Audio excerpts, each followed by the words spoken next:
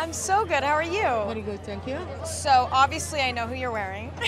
obviously. You guys, yeah. You look amazing. How many Met Galas have you been to? Um, lots, lots, lot. a lot, lots, like 20 maybe. No way. Yeah. Okay, so I feel like you're the best person to ask for advice. It's my first one. I have no idea what to expect. Do you have any like word of wisdom for me? Um, you're gonna be uh, surrounded by people with lots of creativity, and the Met is one of those evenings that people let themselves go.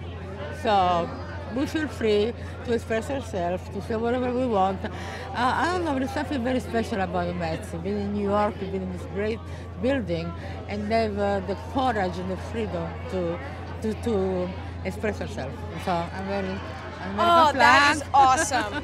that is so good. And Maluma is a cowboy in red leather. Wow. Is guess? Why don't you just jump on in?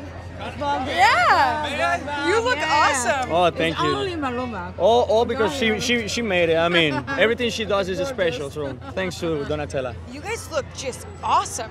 And like sparkly. This is so great. The first time that you come here, you don't know what to expect, what's gonna happen. But now that it's more, it's more comfortable. You're you know, like, more I know chill. what I'm doing. Like, this is chill. This is easy. I appreciate it. Well, I'll see you guys in there. Thank you. So nice to talk to you. Ciao.